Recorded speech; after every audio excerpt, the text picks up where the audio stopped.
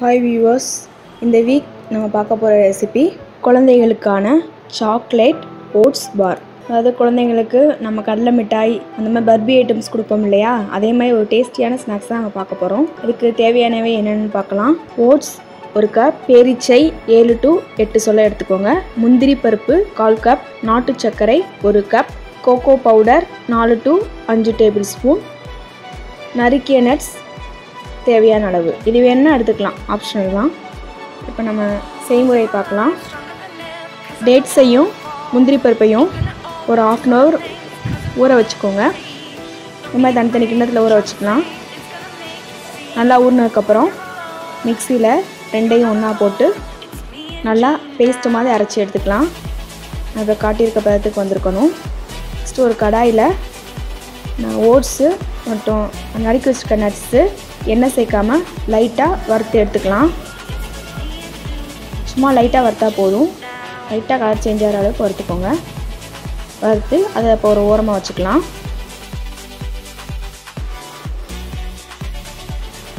Next ஒரு கடாயில் கொஞ்சோண்டு தண்ணி சேர்த்துக்கிட்டு அதில் நாட்டு சர்க்கரை போட்டு லைட்டாக நுரா பொங்கி வர அளவுக்கு சூடாக்கிக்கலாம்.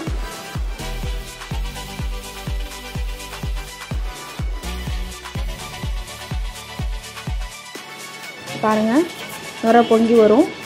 இந்த அளவுக்கு நம்ம சூடாக்குனா போதும். இந்த பாகு பதத்துக்கு வர மாதிரி சூடு பண்ணிக்கலாம். இப்போ இதில் நம்ம ஏற்கனவே அரைச்சி வச்சுருக்கிற முந்திரி டேட்ஸ் பேஸ்ட்டை போட்டு நல்லா கலக்கி எடுத்துக்கலாம். அடுப்பில் சிம்மை வச்சுக்கோங்க. இல்லைன்னா அடிப்பிடிச்சிரும் நல்லா சிம்மில் வச்சுக்கிட்டு நல்லா கலக்கி விட்டுகிட்டே இருக்கணும். இப்போ கெட்டியான பதத்துக்கு லைட்டாக ஓரளவு கிடச்சிருக்கு நமக்கு. இதுக்கடுத்து நம்ம இந்த கலவையை ஏற்கனவே நம்ம ஃப்ரை பண்ணி வச்சுருக்கிற ஓட்ஸ் நட்ஸு கலவையோடு சேர்த்துக்கலாம். சேர்த்து கலக்கி விட்டுட்டு கோகோ பவுடரையும் கூட சேர்த்துக்கோங்க. சேர்த்து நல்லா மிக்ஸ் பண்ணி எடுத்துக்கோங்க. இந்த எல்லா கலவையும் ஒன்றா சேர்கிற மாதிரி நல்லா மிக்ஸ் பண்ணி எடுத்துக்கலாம்.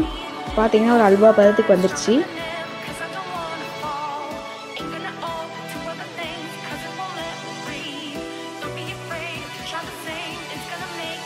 ஒரு ட்ரேயில் பட்டர் ஷீட்டை வச்சுக்கலாம். பட்டர் ஷீட்டு நல்லா பிளேட்டை ஒட்டுற மாதிரி நல்லா சமப்படுத்திக்கலாம். பட்டர் தருவினீங்கன்னா நல்லா சமமாயிரும். இப்போ நம்ம ப்ரிப்பேர் பண்ணி வச்சுருக்கிற அந்த கலவையை நம்ம ஊற்றிக்கலாம் ஊற்றி நல்லா சமப்படுத்திக்கலாம். நல்லா ஒன்று போல் சமப்படுத்தினா தான் நம்ம கட் பண்ணுறதுக்கு ஈஸியாக இருக்கும். ஷேப்பு கரெக்டாக வரும். ப்ளஸ் ஸ்ப்ரெட் பண்ணி விட்டாச்சு. இல்லை ஒன்றுலேருந்து ரெண்டு மணி நேரத்துக்கு நல்லா ஆற வச்சுக்கலாம். ஆற வச்சக்கப்புறம் நம்ம என்ன ஷேப்பில் வேணுமோ அந்த ஷேப்புக்கு கட் பண்ணி எடுத்துக்கலாம். டேஸ்ட்டாக இருக்கனால குழந்தைங்க ரொம்ப விரும்பி சாப்பிடுவாங்க. அதுவும் இல்லாமல் இது குழந்தைங்களுக்கு தேவையான எனர்ஜி தரக்கூடியது. ஏன்னா இதில் டேட்ஸு ஓட்ஸு முந்திரி பருப்பு எல்லாம் இருக்கிறனால குழந்தைங்களுக்கு ரொம்பவே எனர்ஜியானது நீங்கள் வெளியே ஸ்நாக்ஸ் வாங்காமல் இந்த மாதிரி வீட்லேயே செஞ்சு கொடுத்தீங்கன்னா குழந்தைங்க ரொம்ப விரும்பி சாப்பிடுவாங்க.